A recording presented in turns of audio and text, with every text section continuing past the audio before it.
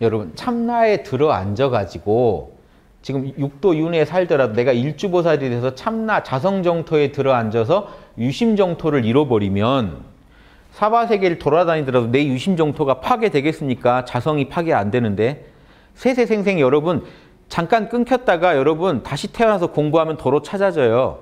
잠깐 끊긴 것 같지만 끊긴 것도 아니에요. 여러분 자성은 항상 여러분 안에서 빛나고 있습니다. 끊긴, 끊긴 듯 끊긴 게 아니에요. 지금 여러분 혹시 기억 못 하시더라도 전생에 계속 정토에 접속해 오신 일주보살 이상의 분들은 무슨 계기만 오면 다시 자각해서 자기 것 갖다 씁니다. 정토에 접속이 돼 있어요. 그러니까 지금 윤회하고 돌아댕겨도 사실은 나는 정토를 떠난 적이 없어요. 내 본신은 정토에 있어요. 그렇기 때문에 이러고 댕기다가 세세생생해서 부처가 돼요. 그래도 정토를 떠난 적이 없죠. 한 번도. 자, 일주보살 이후는 정토를 떠난 적이 없이 부처가 됐습니다. 부처가 돼서 이 전지전능한 작용을 해서 중생을 구제하더라도 정토에 머물면서 이 자리는 달라진 게 하나도 없기 때문에 결론은 뭐예요? 일주보살 때 이미 성불했다는 얘기를 하고 싶은 거예요. 지금 보조스님. 견성할 때 이미 성불이다는 얘기를 하려고 이렇게까지 얘기를 합니다. 전지전능한 작용이 다 참나에서 나온 거 아니에요? 그럼 여러분 일주에서 얻은 그 참나는 무지무능한 참나인가요? 아니죠. 전지전능한 참나죠. 내가 수용을 못해서 자수용이 딸려서 그렇지 수용력이 딸려서 그렇지 참나는 전지전능한 참나 그 참나기 때문에 내가 갖춘 참나의 온전한 지혜와 능력을 12지 돼서야 구현한 것뿐이지 그 참나는 그 참나였기 때문에 여러분 마지막 얘기 들어보세요. 이 가운데 습기를 연마하고 다스려서 지혜와 자비가 원만해져서 계급이 승진해감 52레벨을 닦아 올라간 맛은 있지만 처음 발심해서 이미 시간성이 없는 지혜의 문에 들어가 버렸기 때문에 시공을 초월한 참나를 얻었기 때문에 비록 구경의 경지 12지 부처가 되더라도 애초에 조금도 움직인 적이 없다. 이 말은 일주가 되면 이미 정토에 안주해서 성불할 때까지 정토를 떠난 적이 없다는 얘기입니다.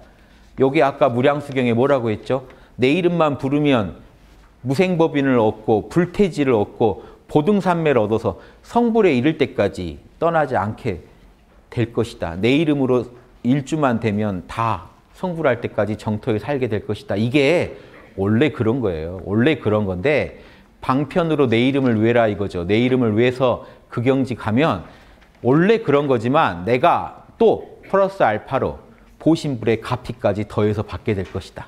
더 도와줄게 하는 정도로 보셔야지 안 될 걸 되게 해주신 게 아니에요. 아미타불이. 원래 될 일을 도와주겠다고 하신 거지.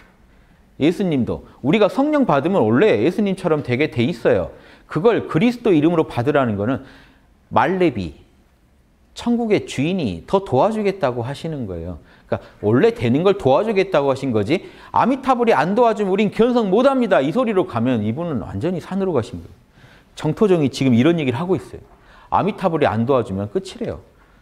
그 그쪽 공부하신 분이 저를 제가 아미타불식의 정토는 과장됐다고 하니까 저를 막 욕하시더라고요. 네가 아미타불 도움 없이 정토 갈 것 같냐? 너 악업 어떻게 닦을래? 막 나를 저주하시더라고요. 안타깝지만 저는 이미 정토에 살고 있습니다. 늘 무량화 부처님을 뵈면서 정토에 살아요. 그런 분이 저를 아무리 저주하셔도 그 기, 기름을 물 위에다 부어놓고 막 가라앉으라고 아무리 염을 하셔도 그게 될 일이 아니라는 거 아시겠어요? 그냥 기름처럼 그냥 물 위에 가볍게 뜨세요. 정토에 그냥 접속하세요. 자기가 견성했는지 안 했는지도 모르는 분이 나무아미탑을 이름만 외면 어떻게 되려니 아닙니다. 나무아미탑을 한마디 할 때 견성하셔야 돼요. 제가 요거, 요거까지 말씀드릴게요. 나무아미탑을 할 때 딱 생각이 끊어지고 그 자리에 머무르세요. 나무 아미타불 하고 아미타불과 내가 둘이 아닌 그 마음만 품고 계세요. 그게 참나자리입니다. 거기가 이미 정토예요. 한 번 할 때마다 한 번씩 접속이 돼야 돼요. 정토에. 그러다 보면 이게 정토인지 확실히 알게 되고 자성인지 알게 되고 그 자리를 안 떠나는 삶도 가능해집니다. 여기서. 육바람일 꽃도 피울 수 있습니다. 여기서. 에너지체도 다이아 몸도 아미타불한테 왜 추잡스럽게 아미, 말렙한테 국어를 해요. 여러분이 그 몬스터 잡아가지고 얻으세요. 방법 다 있으니까. 여기서 이미 정토에 사는 불보살이 되시길 바랍니다.